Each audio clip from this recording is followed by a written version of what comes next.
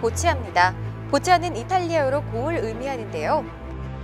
보치아는 1982년 덴마크 국제경기에서부터 국제경기 종목으로 부상했으며 1988년 서울 패럴림픽을 계기로 우리나라에 알려지게 되었습니다. 초기에는 뇌병변 장애인만을 위한 재활 스포츠로 고안되었지만 오늘날엔 운동 기능에 영향을 주는 각종 신경장애 선수들이 참가하는 종목으로 성장했습니다. 경기 방법은 두 선수 또는 두 팀이 빨간색과 파란색 공을 6개씩 나눠 갖고 가장 먼저 던져진 하얀 표적볼 잭을 중심으로 더 가까운 공의 개수만큼 점수를 얻게 되는 방식인데요. 집중력을 필요로 하기 때문에 조용한 가운데 치러지는 종목인 보치아.